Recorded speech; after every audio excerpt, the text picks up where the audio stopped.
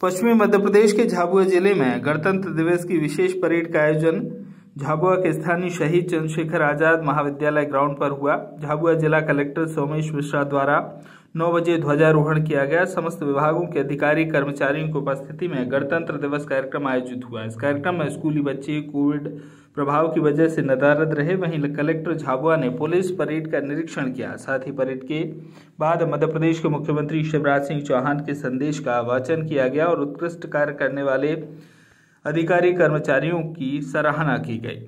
झाबुआ से कमलेश सोनी की रिपोर्ट।